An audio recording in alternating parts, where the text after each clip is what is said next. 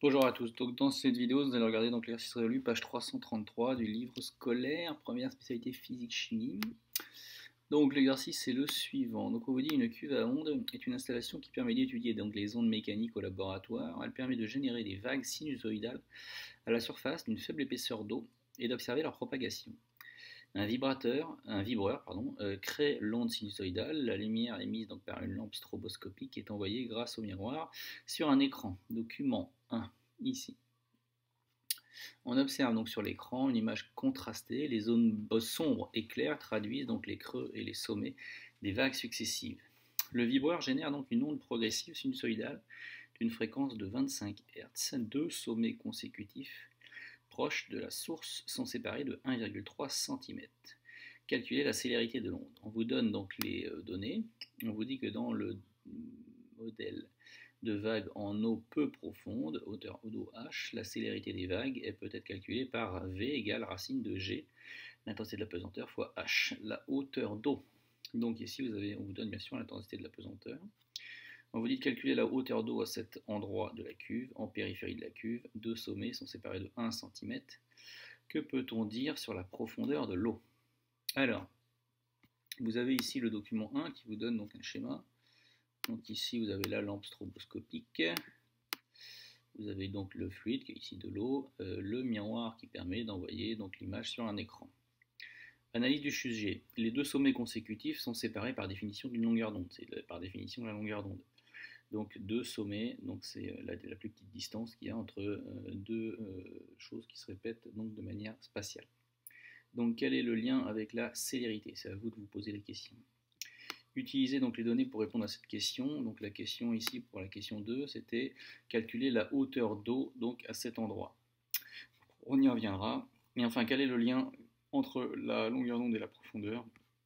Donc ici, pour la première question, on vous dit la célérité vaut V égale lambda fois F. Donc ça, c'est quelque chose que vous avez dû voir dans le cours.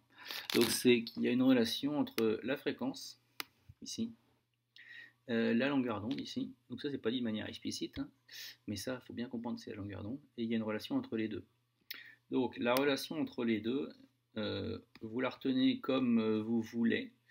Mais en fait, ici, il faut bien que vous retenez qu'une, en gros, une vitesse, hein, c'est une célérité. Mais donc, c'est une vitesse. Donc, une vitesse, c'est toujours une distance parcourue sur une durée. Donc, ici, la distance, c'est la longueur d'onde. Et la durée, si vous divisez par la durée, c'est la même chose que de multiplier par la fréquence. C'est pour ça que c'est, peut-être facile de la retenir comme ça, cette formule V égale lambda fois F.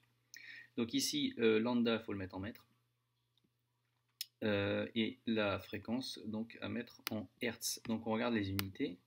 Donc ici, donc on a 1,3 euh, euh, cm, attention, et 25 Hz. Donc ici, si on regarde ici, donc on a euh, la correction. Donc dans la correction, il y a marqué V égale lambda fois F. Donc lambda, ils ont mis 1,3.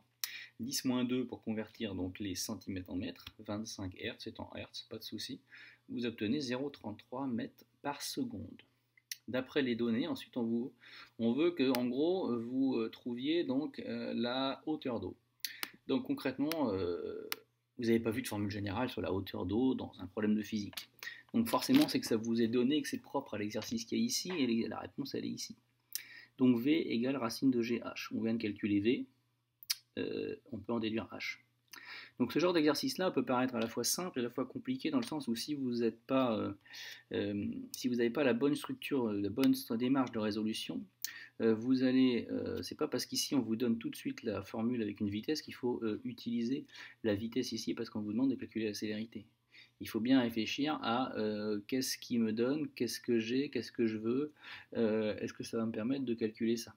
Façon, ici, euh, si vous voulez calculer la célérité, il vous faut euh, la hauteur d'eau. Et la hauteur d'eau, ici, euh, on ne vous donne pas d'image. Donc, on ne vous donne pas de hauteur d'eau. Donc ensuite, pour calculer la hauteur d'eau, vu qu'on vient de calculer la célérité, on applique cette formule. Et donc dans ce cas-là, vous arrivez à en mathématiques, vous multipliez tout au carré, donc ça fait V carré égale G fois H, vous divisez. Donc vous mettez dans les unités 0,33, 9,81, il n'y a pas de souci d'unité. Ici, vous trouvez 1,1 10 2 mètres, soit 1,1 cm. Alors ensuite, on vous dit 1,1 cm. On vous dit qu'en périphérie, les deux sommets sont séparés de 1 cm. Que peut-on dire de la profondeur d'eau? Alors, qu'est-ce qu'on voit? Alors, qu'est-ce qu'on nous dit ici? On nous dit que si la longueur d'onde diminue, d'après la formule de la question 1, donc ça veut dire que la célérité diminue ici. Effectivement, si vous avez la longueur d'onde ici qui diminue à fréquence constante, puisque le vibreur vibre toujours à la même fréquence, si lambda diminue, V diminue. Par conséquent, avec la formule qui est ici, si vous avez euh, donc V, ici V égale racine de GH, si V diminue, H va diminuer, d'après la relation V égale racine de GH. Donc la hauteur H est en effet proportionnelle à la célérité au carré.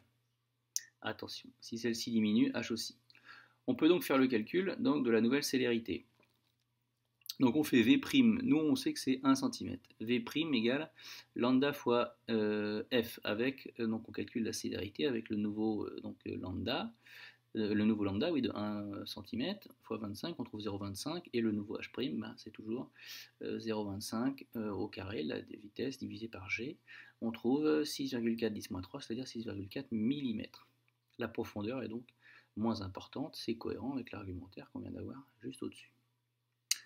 Voilà, donc euh, pour bien répondre, il y a aussi des aides ici. Donc euh, cet exercice-là euh, est un exercice qui est court dans le sujet, mais qui peut poser des problèmes si jamais vous n'avez pas la bonne démarche d'analyse.